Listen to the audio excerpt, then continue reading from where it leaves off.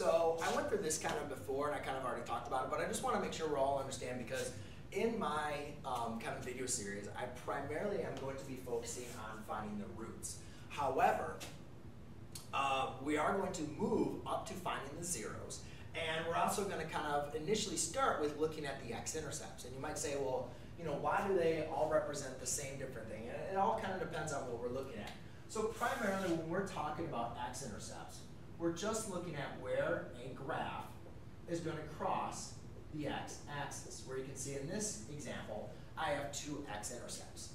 Well, the roots and the zeros mean the exact same thing, but a lot of times we're going to represent them when we're talking about looking at it algebraically. And when algebraically, when we're looking for the roots, we're looking at a quadratic equation. And we're talking when we're talking about the zeros, we're primarily looking at a quadratic function. I went over in another video that primarily the only difference between quadratic equation and quadratic function is one, the function has to pass the function test, which we'll get to in a, in a different series.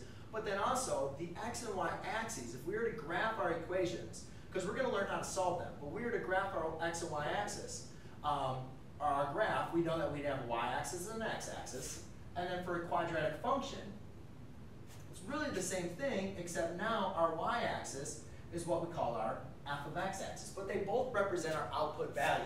And when we want to find the x-intercepts, what we're doing is we're still looking for when is our y value equal to 0 or our output value equal to 0. So when solving these, or when I say find the zeros of the function, all I'm asking you is find the values of x when our output value is equal to 0. Or I say find the roots of the equation. All I'm asking you to do is find the values of x when our y coordinate is equal to 0. And you'll be able to see that it doesn't matter, since they're all quadratics, we're going to have those x-intercepts, or no x-intercepts, or one x-intercept, but we're going to be finding the same process. It just kind of depends if we're dealing with an equation or a function, or just looking at a graph, how we're going to be determined what are the x-intercepts, the zeros, or the roots. It just really depends on what kind of question we're given. Um, but as far as the process or the, the question or the equation or function we're given, however, the process is going to be exactly the same. We could solve these either algebraically, um, graphically, algebraically by completing the square, quadratic formula, square root method, or quadratic formula. So there you go, ladies and gentlemen. That is the difference between roots, zeros, and x-intercepts. Thanks.